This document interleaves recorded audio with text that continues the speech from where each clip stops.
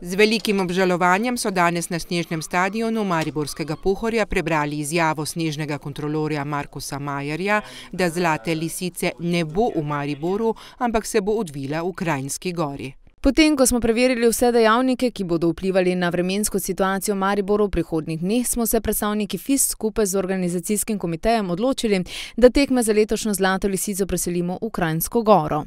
Utemeljitev: Snežne in vremenske razmere na Pohorju ne zagotavljajo uspešne izvedbe tekmovanja petnajstega in šestnajstega februarja v Mariboru. Zato smo bili vsi odgovorni za odločitev enotni, da glede na te razmere ne tvegamo z organizacijo tekmovanja v Mariboru, saj bi s tem sredi sezone lahko izgubili tekmovalni vikend za izvedbo ženskega svetovnega pokala. Zahvaljujoč takšni skupni odločitvi bo tekmovanje za Zlato lisico vseeno mogoče izvesti v Sloveniji. Generalni direktor organizacijskega odbora šestinpetdesete Zlate lisice je poudaril, da so kljub slabim razmeram uspeli zagotoviti sneg na progi, a žal vremenska napoved za naslednji teden ni obetajoča. Zagotovo to niso lepi trenutki za organizatorja, ki je dejansko podredil vse temu, da bi imeli prvovrstno tekmo Zlate lisice v Mariboru. Žal so napovedi za naslednji teden, vsaj za dva dni, dokaj čudne oziroma lahko rečem, mogoče celo bi lahko bile katastrofalne v pripravi proge.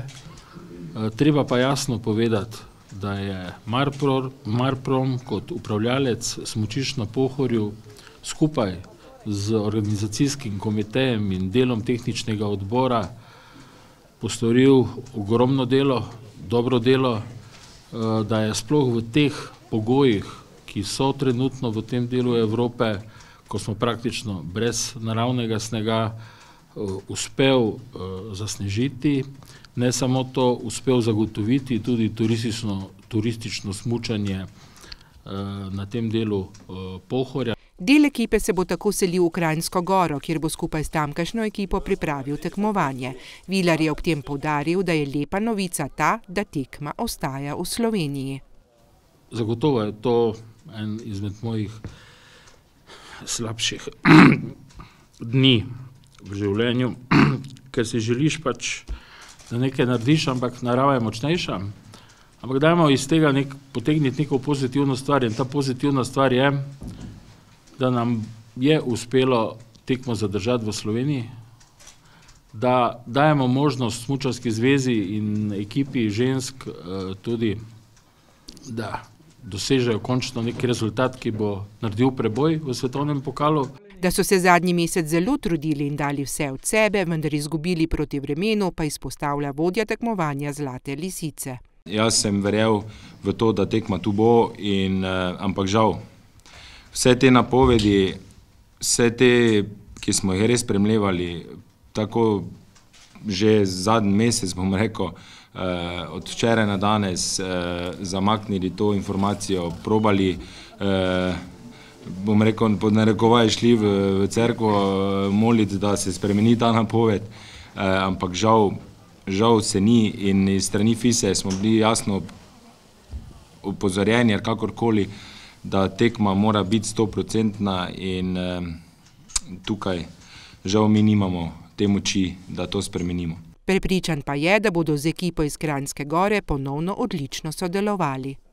Selimo se v Kranjsko Goro, zdaj seveda logistični problemi itd. nastanejo, to je jasno, z ekipo Kranjske Gore smo dve leti nazaj zelo dobro sodelovali. Verjamem, da naša ekipa, ki ni sporna, in njihova, da bomo naredili ta nivo, ki si ga, bom rekel, tekma svetovnega pokala zasluži, in naslednje leto smo tako ali tako v Mariboru in takrat pa mislim, da bomo v Mariboru tako, kot mora biti. In s tem grenkim priokusom, da Zlate lisice ne bo v Mariboru, in z veseljem, da bo vsaj v Sloveniji, ekipa ne meče puško v koruzo, ampak se že ubada z logistiko selitve tekmovanja.